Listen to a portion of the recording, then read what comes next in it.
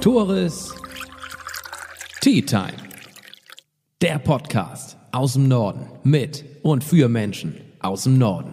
Tores Tea Time wird präsentiert von Tino Hans, dem Zukunftsgestalter von Eiderstedt. Tino arbeitet seit vielen Jahren bei der Deutschen Vermögensberatung und ist dein Ansprechpartner für finanzielle Fragen. Sei es eine Geldanlage, die Absicherung für die Zukunft oder eine Immobilienfinanzierung. Tino Hans, dein Fachmann für deine Finanzen, für deine finanzielle Zukunft. Doch nun heißt es auf eine Tasse Tee mit Tobias Kochs und Timon Keden. Und zwar im Wald, wie man unschwer erkennen kann.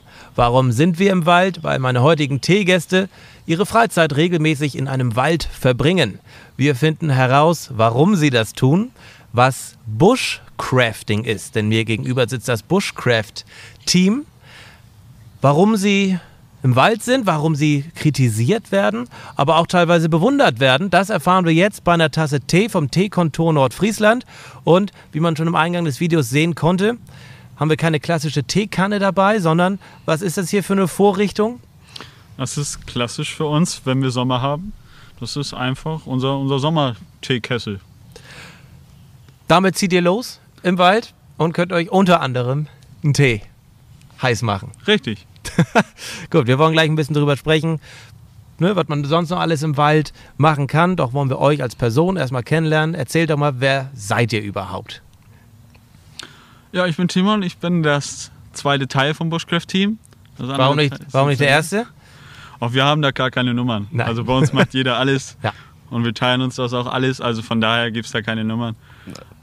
Und ähm, ich bin hauptberuflich Azubi bei der Bundeswehr, mache da meine Heizung-Sanitärlehre und bin mit Tobi jetzt hobbymäßig unterwegs im Wald. Genau. Und du bist Tobi, nehme ich an? Genau, ich bin Tobias, bin 25 Jahre alt noch, bin Rettungssanitäter nicht beruflich, also ich übe den Beruf nicht mehr aus. Bin Gelernter. jetzt Landwirt Okay, spannend. und ja, bin mit Timon bei der Feuerwehr zusammen unterwegs. Wir verstehen uns super. Dementsprechend teilen wir uns auch unsere Hobbys. Und eines dieser Hobbys ne, ist einmal das Bushcrafting, Genau. aber auch ein Hobby, das euch schon lange verbindet und auch tagtäglich an sich bindet, ist die Feuerwehr. Genau, Seid beide, richtig. sagtet ihr, in der Freiwilligen Feuerwehr. Warum? Also, ich finde es ja, ne, also das ist kein Vorwurf, klang vielleicht so. Aber warum habt ihr euch damals entschieden, in die Freiwillige Feuerwehr einzutreten? Also bei mir war es so, ich war früher in der Jugendfeuerwehr, nicht lange, es hat aber sehr viel Spaß gemacht. Mein Vater war auch in der Feuerwehr Ja. und so bin ich quasi dann irgendwo in seine Fußstapfen reingetreten. Und mir ist es halt auch einfach wichtig, Menschen zu helfen, wenn sie Hilfe brauchen, weil sie aus ihrer Lage selbstständig nicht rauskommen. Wir kommen dann gut ausgebildet an und helfen einfach. Und das kommt man auch bei der Freiwilligen Feuerwehr. Gut ausgebildet an den, an den Brandherd, an, Genau. an den Tatort, was auch immer. Ja, genau. Das ist ganz richtig. Wir haben unsere Ausbildungen, die wir im Laufe der Zeit immer durchlaufen müssen. Wir haben dafür die Übungsabende, die sich ständig auch mal wiederholen. Das ist ganz klar, weil man muss da auch mal was Neues lernen oder man vergisst auch mal was über die Zeit. Und ähm, die Leute erwarten auch teilweise bei Unfällen oder Bränden, dass man einfach auch was drauf hat. Ne? Das hofft man auch. Ja, Und das ist aber auch gegeben dann. Ja. Durch regelmäßiges Training, Genau. das ihr Genau. zusammen habt. Und war eben auch schon Thema, ihr habt ja auch immer einen Pieper dabei. Genau. Heißt, wenn jetzt gleich irgendwo ein Brand losgeht, wird unser Podcast unterbrochen. Ihr müsst los. Oder jetzt jetzt gerade negativ, weil der Weg zu weit wäre, um in welcher Feuerwehr seid ihr? Osterhorst steht bei uns im Dorf. genau. Also bis wir da wären, das wäre über eine Dreiviertelstunde und natürlich, wenn es jetzt ein Feuer groß ist, wo man schon sehen kann, da könnte man noch nachrücken. Aber wenn es eine Ölspur ist, du, das haben unsere Jungs in zehn Minuten fertig. Ja, da müsst ihr beiden nicht extra anrücken. Was macht das, wenn man so einen Pieper immer dabei hat? Kann man den überhaupt abschalten? Nehmt ihr den mit in Urlaub, wenn ihr ähm, nee, nicht weit wegfahrt, klar. Aber ich verbringe meinen Urlaub gerade auf so einem Hausboot an der Eider. Hättet ihr da euren Pieper dabei oder lasst ihr den in zwei Wochen im Schrank? Ähm, an sich ist das mit dem Pieper dabei haben ja nicht alles. Also bloß weil das Ding jetzt dabei ist, heißt das ja nicht, dass wir jetzt sehen und dann losfahren. Bei uns auf der Dorfwehr, ist, es gibt auch ganz andere viele Dörfer, die das machen, da gibt es so eine Handy-Alarmierung. Da ruft man eine Nummer an und dann kriegen alle Kameraden, die gerade zu Hause sind oder Empfang haben mit dem Handy, kriegen dann einen Anruf und können dann losfahren. Die kriegen dann Adresse von dem Pieper her und was los ist und dann können die nachrücken. Okay. Das ist eigentlich so der hauptsächliche Grund, warum wir jetzt auch einen Pieper dabei haben. möchte noch abschließend zur Feuerwehr eingehen. Ähm, es ist eine freiwillige Feuerwehr, ihr bekommt da äh, keine Kohle für. Es ist, naja, wie du schon sagst, Nächst- Nächstenliebe letztendlich, Ja. anderen helfen. Das tun ja längst nicht alle. Ähm, ich kann mich auch nicht dazu zählen, dass ich in der freiwilligen Feuerwehr bin. Auch überhaupt gar nicht. Ne? Wald generell, ich fühle mich hier nicht sonderlich wohl. Mit euch fühle ich mich sicher. Aber ähm, wie sieht es bei euch aus? Nachwuchsmangel oder ist da viel äh, Interesse bei der freiwilligen Feuerwehr? Ich sag mal so, in der heutigen Generation, nicht viele Leute möchten die Zeit investieren, um es freiwillig zu machen. So, ich kann das überhaupt nicht verstehen, weil wenn man erstmal so in diesem Kern drinne ist, in dieser Kameradschaft, das ist ja wie eine zweite Familie. Man hat super Erlebnisse, man hat auch in Einsätzen natürlich echt, auf gut Deutsch gesagt, schlechte Erfahrungen, die man mitnimmt. Wir hatten letzte Woche einen schweren Verkehrsunfall, wo ich auch direkt vorne mit dran war. Zwei Und- PKWs, die ineinander? Nee, ein PKW auf der B201, der sofort auch in Flammen aufgegangen ist. So, und da muss ich. auch Okay, ganz ja. ehrlich sagen, das, das nimmt mich auch mit, auch als Rettungssanitäter auch. Ich habe so viel gesehen, aber das sind immer wieder Bilder, die bleiben im Kopf. Die einen aber auch ähm, wachsen lassen. Ne? Genau. Man reift ja auch wahrscheinlich richtig. von Unfall oder von Einsatz zu Einsatz. Du bist erst 20 Ja, und du bist, denke ich, weiter als manch anderer 20-Jähriger, möglicherweise auch durch Feuerwehr, auch durch Umgang mit anderen Feuerwehrmännern. es, es gibt eine gewisse Selbstständigkeit und ähm, es gibt auch den, den sozialen Aspekt. Ne? Man lernt anders mit Leuten umzugehen, die man nicht kennt oder die Hilfe brauchen. Da lernt man ganz anders mit umzugehen, als, sage ich jetzt mal, jemand, der normal zur Schule geht und dann Tennis spielt oder sowas. Ich zum Beispiel. ja, nee, kann ich verstehen. Also es gibt da tatsächlich echt mehrere Aspekte. Also es ist echt ein großes Thema. Ja. Aber ich glaube, das schneiden wir jetzt gar nicht alles an, weil hauptsächlich sind wir ja hier im Wald. Wir sind im Wald und sagt mal, wo sind wir hier genau? Ich habe ab Gammellund nicht mehr gewusst, wo ich bin, beziehungsweise ich wusste vorher nicht, wo Gammellund ist. Wir haben das tatsächlich nie preisgegeben, wo genau wir sind, weil wir auch einfach verhindern wollen, dass andere hier hinkommen. Und wie es jetzt ist, wir kommen im Wald, es wurde was kaputt gemacht. Bei euch, ne, was ihr vorher Genau. schon erbaut hattet. Um das zu verhindern, haben wir auch bei den Instagram-Posts immer nur Kreis Schleswig-Flensburg verwendet, Ja. um das einfach nicht zu detaillieren, wo genau wir sind. Also hätte ich Gammellund gar nicht sagen dürfen. Ja, es ist ja genug Wald hier drumherum noch, ne? Ja, alles gut. Ja. Ich sage nicht, dass wir acht Kilometer hier reinmarschiert sind. Nee. Wer das machen möchte, viel Spaß. Der verirrt sich nachher auch in diesem Riesenstück. Also Wir gehen auch gleich nochmal drauf ein. Ähm, nicht genau, was das hier für ein Stück Wald ist, aber es ist ja ein Stück Wald im Privatbesitz. genau. Da wollen wir gleich nochmal drüber sprechen, warum ihr in einem Stück Wald seid, das im Privatbesitz ist und nicht in einem öffentlichen Waldstück. Aber lasst uns erstmal drüber sprechen. Ihr seid das Bushcraft Team. Mm, Was ist denn überhaupt Bushcraft? Klingt für mich sehr amerikanisch angehaucht. Und in der Zeit, während ihr das erklärt, ziehe ich mal meinen Pulli aus, denn der ist bullenheiß. Aber ich komme wieder in Camouflage. Okay. Ähm, grundsätzlich kommt das Thema Bushcraft aus skandinavisch-amerikanisch, habe ich schon am Anfang mal erwähnt. Und ähm, ja, was heißt das Bushcraft für uns? Wir haben halt Techniken von ganz vielen Profis, die wir uns jetzt mal so abgeguckt haben aus Büchern, aus YouTube oder Facebook, je nachdem, was man da verwenden möchte. Und ähm, wir probieren halt mit dem zu leben, was hier im Wald ist. Klar, gewisse Sachen brauchen wir einfach mit, so wie Wasser, was zu essen und gewisse Werkzeuge äh, brauchen wir halt mit und ähm, versuchen halt minimalistisch wirklich zu überleben im Wald mit den Sachen, was im Wald so hergibt. Aber warum? Müsst ihr ja gar nicht. Ihr habt doch ein Zuhause. Richtig. Oh, warum machen wir das? Ja. Ich schätze mal einfach auch, weil das auch ein bisschen Ruhe gibt. Ne, wir haben vorher sehr viel am Handy gehangen, beide. Ja. Und wir wollten das auch gar nicht mehr wirklich so viel. Und deswegen haben wir uns auch dieses Hobby ausgesucht. Weil hier ist man unter sich, hier hat man keinen rundherum. Und hier hat man nur die Natur. Vögel, die zwitschern, Rehe, die vorbeilaufen. Es gibt halt auch ein Stück Kraft. Also es ist wie ein Urlaub quasi. Ich kann das sehr gut nachvollziehen. Jedes Mal, wenn man im Urlaub ist und bewusst das Handy ein paar Tage, das ist vielleicht übertrieben, ein paar Stunden zumindest, das ist schon mal ein Erfolg für mich, nicht Ja. nutzt, das ist ein geiles Gefühl. Absolut. Im Daily Business so komme ich zumindest gar nicht ohne Handy aus. Und das ist immer hammerschön, wenn man mal abschalten kann. Und ihr fahrt bewusst am Wochenende oder wenn ihr mal frei habt in den Wald, um auch das Handy zu Hus zu lassen. Beziehungsweise ihr habt es ja auch dabei, um zu filmen. Kommen wir gleich zu, aber das ist natürlich ein Grund gewesen. Gerade in der, ihr habt ja in der Corona-Zeit angefangen, oder? Wann habt ihr angefangen? Genau, Ende letztes Jahres, Oktober ungefähr war das. Ich meine, da haben ja ganz viele dann auf noch mehr Netflix geguckt, noch mehr gezockt, Genau. noch eine Konsole geholt. Ich glaube, in einem Video haben wir sogar gesagt, da waren wir auf einer Wanderung. Adventure Walk ist das, das gibt es auch auf, bei uns auf YouTube im Channel. Ähm, da haben wir auch tatsächlich eine Ansprache gehalten, wo wir am Wasser waren, dass die Leute mal rausgehen sollen und mal was tun sollen. Ne? Hier, da, da ist deine Kamera. Hau mal raus. Was sollen die Leute machen und was sollen sie nicht machen? Also Leute, geht mal raus, hat mal ein bisschen Spaß, auch mal ohne Handy. Grüßt die Leute auch mal und guckt nicht immer auf, auf das Handy. Legt das einfach mal weg und genießt einfach mal ein bisschen Natur. Ein bisschen Spaß haben, ein bisschen fröhlich sein, anstatt immer das alltägliche Leben. Das wäre ganz cool. ich bin froh, dass ich, dass wir den Podcast mitten im Wald äh, gemacht haben, weil ich meine, heute ist auch ein perfekter Tag. Das Wenn ich mir eure Videos angucke, habt ihr auch nicht nur perfekte Tage. Ich meine, wir Nee. sind in, äh, im Kreis Schleswig-Flensburg, da ist es selten schön, aber das ist schon absolut traumhaft hier. Still, man hört die Tiere, Ja. schon geil.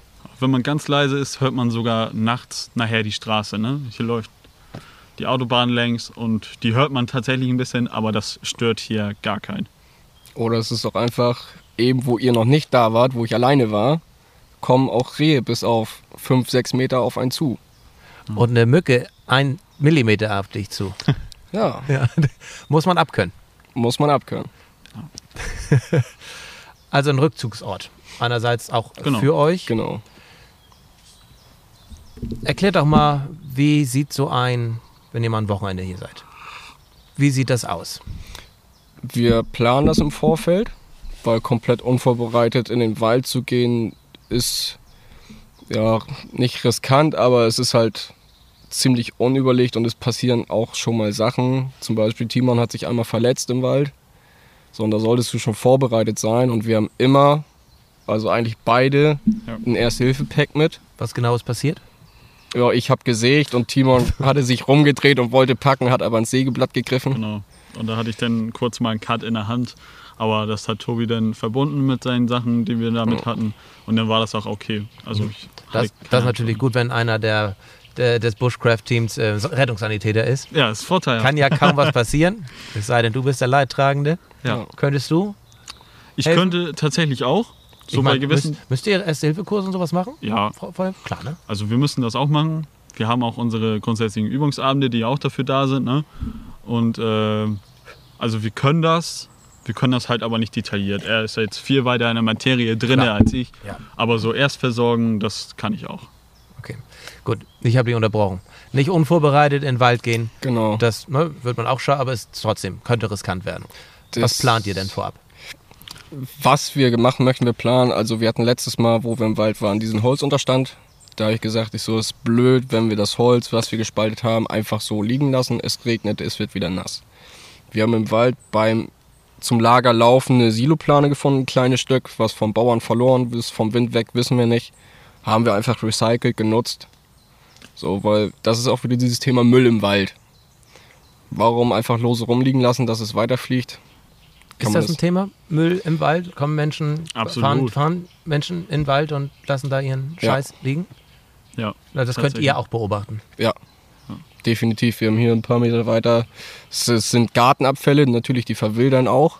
Aber in der anderen Ecke vom Wald ist auch einfach Bauschutt. Wo ich mich frage, was soll das? Es gehört nicht in den Wald. Gerade Tiere, die in der Natur leben, können sich daran verletzen. Ja. Das ist einfach blöd. Man beobachtet allerdings auch, wenn man jetzt auf Lost Places geht, dass die Natur Wohin? sich auch Wohin? ähm, Lost Places. Das sind ähm, Gebäude, die leer stehen über jahrelange Zeit. Ja. Und ähm, man merkt da ganz speziell, dass die Natur sich immer mehr wiederholt. Also ich glaube, wenn wir Menschen ein paar Jahre nicht leben oder zumindest in einem Teil nicht leben, wird die Natur sich das komplett wiederholen. Da ist sie sehr eigen. Wenn ihr eine Nacht plant, was, ähm, was nehmt ihr mit? Also ich bin immer so, mein großer Rucksack, der muss auch gefüllt sein. Also ich Sieht kann man, das, glaube ich, im Hintergrund. Riesiges Teil. Kann das überhaupt nicht ab, dass die 110 Liter Fassungsvolumen leer sind. Okay. Dementsprechend habe ich eigentlich immer alles mit, was ich habe. Hast du auch gut zu schleppen. Ja, das, also wenn er voll ist, sind wir bei ca. 40 Kilo. So, und das muss man dann halt auch wissen, machst du eine lange Strecke zu Fuß oder Kanutour war es auch ziemlich ja. Äh, ja, katastrophal mit dem vollen Rucksack. Aber sonst gehen wir in den Wald, dann bauen wir einen Tarp auf, dass wir halt einfach regengeschützt sind, falls es regnen sollte. Für nicht so Kenner, ein was baut ihr auf? Tarp ist eine Plane, Okay. bloß leicht, kleines Packvolumen. Ja.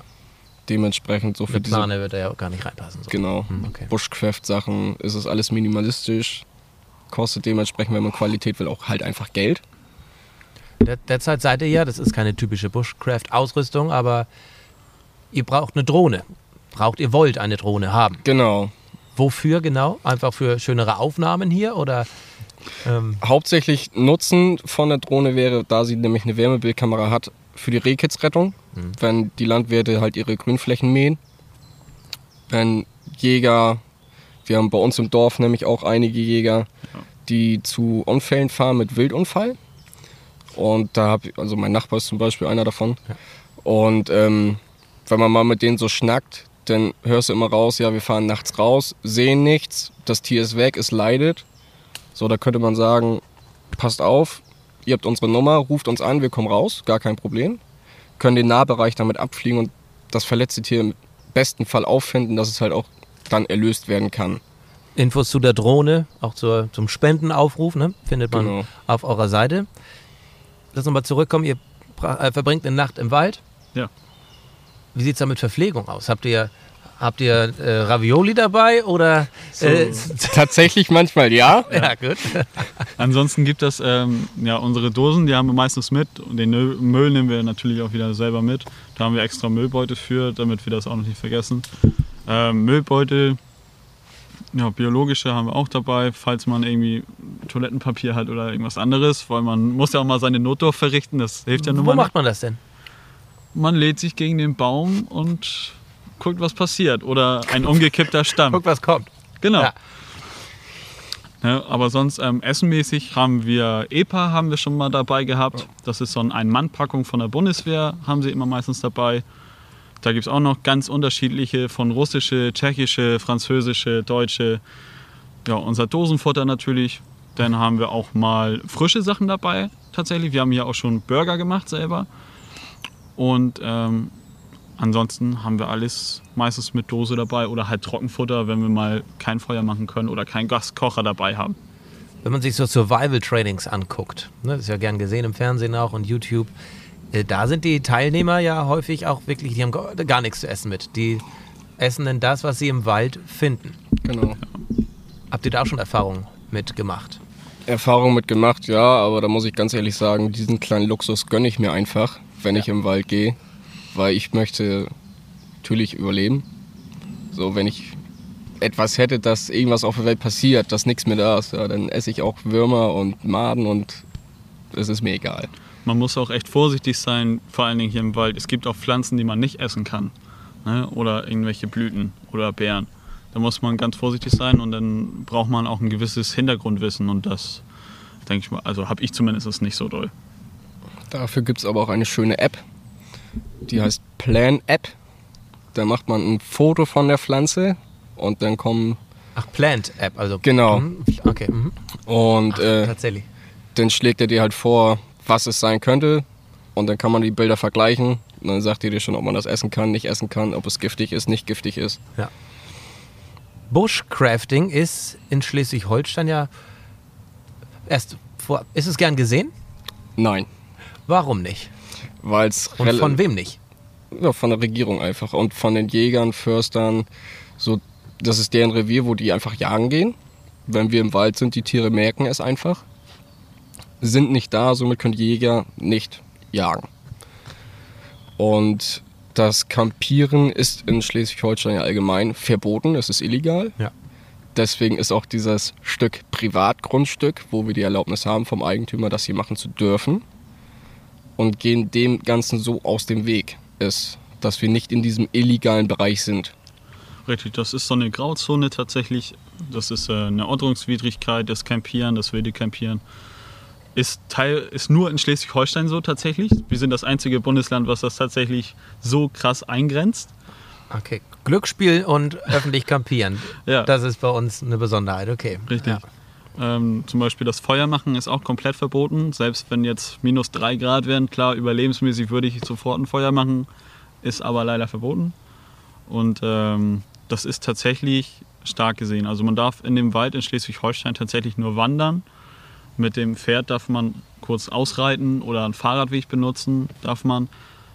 Man dürfte tatsächlich in der Grauzone, nachts darfst du nicht im Wald schlafen, könntest aber tagsüber im Wald schlafen. Das ist so ein Hin und Her, ist eine Grauzone und äh, da ist Schleswig-Holstein echt ganz weit hinten im Gegensatz zu den anderen Bundesländern. Habt ihr denn da äh, Verständnis für, für die Kritik, die da aufkommt? Und hattet ihr selbst schon mal ähm, Ärger mit einem Förster oder mit einem Jäger oder mit wem auch immer? Nee, wir hatten tatsächlich noch keinen Kontakt. Wir waren schon oft unterwegs. Man hat mal auf den Wanderwegen so Spaziergänger gesehen, klar.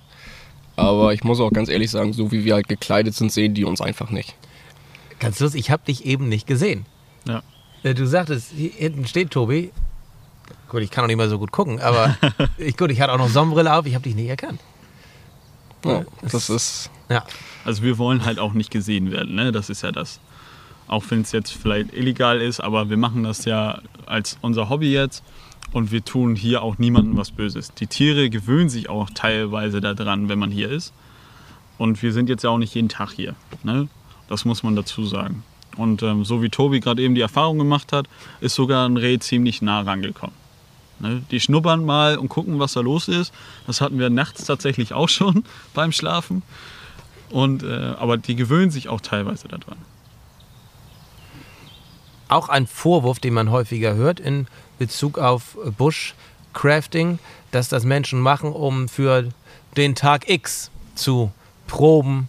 Also wenn man wirklich es hart auf hart kommt, dass ihr diejenigen seid, die überleben werdet, weil ihr euch im Wald auskennt und so weiter. Äh, was sagt ihr dazu? Also da muss ich auch ganz klar sagen, es ist jetzt vielleicht ein blöder Vergleich, aber ich vergleiche das immer mit Autoposern und Autotunern. Die Poser holen sich ein dickes Auto, das gehört nicht denen. Tuner stecken Liebe da rein. So, bei uns ist das, wir machen es, weil wir es wollen und nicht für Tag X. Muss ich jetzt aber auch aufpassen, wie ich das sage. Die Leute, die es für Tag X machen, haben natürlich auch ihre Motivation, das so zu machen. Sollen sie auch gerne machen. Aber aus meiner persönlichen Sicht finde ich es übertrieben, weil sie wirklich die Materie völligst überschätzen. Ja. Mit Bunkeranlagen, was sie sich nicht alles kaufen oder bauen, das ist, muss nicht sein. Ich meine, diese Bunkeranlagen, die sieht man ja häufig äh, bei YouTube. Äh, Entweder zeigen Förster die, die sie gefunden haben, oder äh, Bushcrafter prahlen damit. Habt ihr Bunkeranlagen? Nee, tatsächlich nicht. Da sind wir komplett von ab, weil erstmal wissen wir, dass wir die Wurzeln damit kaputt machen von den ganzen Bäumen und die dann auch nicht mehr wachsen. Und ähm, dass es einfach auch für die Tiere gefährlich sein kann ne? oder für irgendwelche Spaziergänger. Und ähm, wir sind jetzt ja, bei uns sagt man ja Bushcraft und bei den anderen sagt man Prepper, die für diesen Tag X komplett dabei sind. Ne? Ja. Das ist irgendwie so eine Seit Spaltung. Corona gibt es natürlich einige Lebensmittelprepper auch, Ja, unter anderem. das gibt es ja. Warum macht ihr das? Das haben wir schon erfahren, aber warum filmt ihr euch denn eigentlich dabei? Das kann man vielleicht nicht sehen, aber hier steht eine Kamera, da steht eine GoPro, auf eurem YouTube und Insta-Kanal ist viel festgehalten. Weshalb, mit welcher Intention macht ihr das? Das war so eine ganz blöde Idee eigentlich. Wir haben mal immer so drüber gesprochen, ja, die Kinder, die sitzen alle drinnen, spielen Computer. So, und wenn Mama dann mal kommt und sagt, ja, du warst um 7 Uhr nicht zu Hause, die Playstation ist jetzt weg, ist großes Geschrei, Das Geschrei ist groß, ja. Erinnere ich mich an noch meine Tage. Ja. wo ich einfach sage, äh, Leute, geht raus. Geht bis 7 Uhr draußen spielen, habt was vom Tag, lernt die Natur kennen. Und es muss nicht immer alles voll Playstation laufen, Handy, Computer. Also ihr wollt mit euren Videos und Beiträgen so ein bisschen dafür, da die Leute auch sensibilisieren, dass man im Wald eine schöne Zeit haben kann. Genau. Dass es nicht so, also ich meine, muss auch dafür gemacht sein. oder? Ja, also man muss natürlich Bock drauf haben, man muss auf, mit Witterungen umgehen können, mögen. Ähm, aber, es Aber- bringt dann noch weiter. Wenn man es nicht ausprobiert, kann man es nicht wissen, ob es was für einen ist. Ihr seid ja nun seit Ende letzten Jahres dabei. Hört das jetzt nach dem Podcast auf? Jetzt ist das Ziel erreicht bei Tourist Tea Time gewesen? Oder was sind eure Ziele noch? Na, unsere Ziele sind einfach noch, ähm, wir werden auf jeden Fall weitermachen. Gut. Wir haben noch viel vor. Wir haben ähm, jetzt momentan eine Verlosung, die wir jetzt bald starten mit einer Band aus Husum, mit der Jedermann-Therapie-Band. Und ähm, wir wollen auch definitiv nochmal nach Schweden. Das ist auch nochmal ein ganz großes Ziel von uns. Ähm, Kanu-Tour auf jeden Fall nochmal auf der Schlei. Das hat sich die Community ausgesucht. Konnten sie abstimmen bei Instagram. Also es gibt noch viele Sachen und viel vor haben wir auch noch. Du hast gerade so schön gesagt, man muss es ja eigentlich mal testen, um Genau. mitreden zu können oder um behaupten zu können, das ist nichts für einen. Ja. Und die, die mich kennen, wissen, dass ich der eigentlich der allerletzte bin, der das machen würde, weil ich habe noch, ich war noch nie auf einem Festival. Ich habe, glaube ich, noch nie ge gecampt, gezeltet. Ich höre da, so, einen- ich hör da so einen leichten Unterton, dass wir den nächsten Gast dabei haben. Ich will es nicht versprechen, aber ähm, ich hätte das, da, wenn man das irgendwie cool aufzieht, Ja, könnte ich mir das ganz gut vorstellen, weil wenn ihr mich dahin bekommt und eine Nacht da durchbringt, dann, dann könnt ihr, dann kann das jeder schaffen. Kriegen wir hin. das sollte nicht das Problem sein. Wir haben genug Material. Challenge accepted. Ja, Das wollte ich hören. Challenge accepted. Gut. Dann gebt uns doch schon mal, gebt mir doch schon mal ein paar Tipps, ähm, falls ich euch verlieren sollte. Was sind absolute No-Gos im Wald? Was sind Sachen, die man drauf haben müsste? Auch wenn Kein- jetzt jemand zuguckt und sagt, ja, ich will jetzt am Wochenende mal los. Will das Handy weglegen und los. Also was oberste Priorität ist im Wald, lebende Pflanzen nicht beschädigen. Den Lebensraum der Tiere nicht beschädigen. Heißt, wenn man jetzt die Liegestelle von einem Wildschwein irgendwas findet, wegbleiben. Auch aus Gesundheitsgründen wahrscheinlich. das auch. Äh, Auch, auch einfach für die Tiere, weil Na, das Logo, unnormaler Stress für die Tiere Ja. ist. Ja, was hat man sonst noch für Techniken? Also Knoten sollte man können auf jeden Fall. Es geht da von einfache Knoten bis Spezialknoten gibt es da. Ähm, man sollte auf jeden Fall ein bisschen was dabei haben. Ne? Eine Säge, vielleicht ein Messer, ein kleines, womit man sich mal ein bisschen ähm, Feuerholz machen kann. Äh, ein Feuerzeug oder ein Feuerstahl oder Feuersteine gibt es auch. Apropos Feuer, Ja, gutes Thema. ist Waldfeuer. Ich meine, in Kalifornien wüten gerade wieder die heftigsten Waldbrände. Ich weiß nicht, was Ausgangslage war, aber häufig war es eben natürlich bewusste Brandstiftung, aber oftmals passiert es auch aus Versehen. Wie steht ihr dazu? Feuer im Wald? ist sehr, sehr kritisch. Wir überlegen uns das vorher dreimal, ob wir es machen. Wir gucken, wie feucht ist, weil die Hitze, die geht auch einfach im Boden. Sie ist ja nicht nur am Feuer selber, sie geht auch einfach in den Boden rein, wo man Wurzelbestand abtötet mit. Denn allgemein, was liegt drumherum? Wir haben jetzt hier ganz viele Nadeln, Blätter, alles ist trocken. Würde ich jetzt hier ein Feuer machen, verspreche ich in einer halben Stunde wird es irgendwo hinlaufen. Und das ist scheiße, es muss nicht sein. Ich meine, wir sind in der Feuerwehr, wir wissen, wie wir damit umzugehen haben. Wenn es jetzt aber der 16-jährige Max Mustermann macht, der steht da, scheiße, es brennt und geht weg. So, und dann fängt alles an. Und das muss nicht sein. Wir haben tatsächlich auch bei der Tour, wenn wir jetzt hier in den Wald gehen und wir wissen, Trockenheit und es hat länger nicht geregnet, ähm, dann machen wir auch schon fast kein Feuer mehr, es sei denn, es ist richtig kalt in der Nacht. Das kann ja durchaus mal sein, im Mai, März ungefähr. Und ähm, da haben wir aber auch immer Wasser dabei. Also so wirklich 20 Liter Wasserkanister haben wir immer mit, dass wir im Notfall auch noch ein bisschen dagegen wirken kann, ne, können. Ansonsten gibt es auch kleine Feuerlöscher, die man mitnehmen kann. Also ich will jetzt keinen dazu ausstacheln, unbedingt Feuer zu machen. Aber es gibt auch ähm, Campingkocher, die das deutlich vereinfachen. Ja. Es gibt eine App, Geocaching. Sagt euch das was? Ja, Da wird auch so suffisant gelacht. Ähm, kurze Erklärung, ne? da kann man, oder ist auch eine große Community, die Gegenstände in der Natur, häufig im Wald, ähm, versteckt. Und die Community will auch nicht entdeckt werden. Also man soll gar nicht wissen, dass man das sucht. ja. Ähm, sagt euch das was? Was haltet ihr davon? Ich musste nämlich direkt dran denken, als ihr gesagt hattet, und das habe ich festgestellt, dass ich mich seitdem, ich das, ich mache es nicht regelmäßig, ich habe die App drauf, dass ich mich mit der Natur befasse, dass ich mir mal einen Baum angucke oder mir mal den Boden angucke oder ein Blatt angucke. Das finde ich ist ein positiver äh, Aspekt davon. Aber du hast direkt so ein bisschen gelacht, als ich die App genannt habe. Erzähl mal. Ja, Geocaching habe ich tatsächlich auch schon viel von gehört, Ja. dass sie sich auch damit beschäftigen, so wie du sagst. Ähm, dass aber auch viel Schabernack getrieben worden ist, habe ich auch schon gehört. Schabernack, schönes Wort. Ja. Ja. ähm, dass einige Gegenstände versteckt worden sind oder nachher mitgenommen worden sind oder sowas. Oder dass man die Gegenstände kaputt gemacht hat, tatsächlich sogar. Es gibt überall Arschlöcher, ne? Richtig, Kann man so sagen, ja. Ja. Und auch im, auch im Wald. absolut. Definitiv. Ihr hattet das eingangs gesagt, das, was ihr euch mal aufgebaut hattet, ihr kamt wieder äh, kaputt gemacht. Genau. Ja. Ja, ich muss euch nicht fragen, warum, aber ähm, das ist wahrscheinlich auch die Angst vieler Förster, ne? dass eben vermehrt besagte Arschlöcher in den Wald gehen und äh, das, den Wald kaputt machen, den Lebensraum der Tiere zerstören. Ja, viele Leute, die es sich einfach machen wollen, gehen hin und nageln den ganzen Scheiß in die Bäume rein.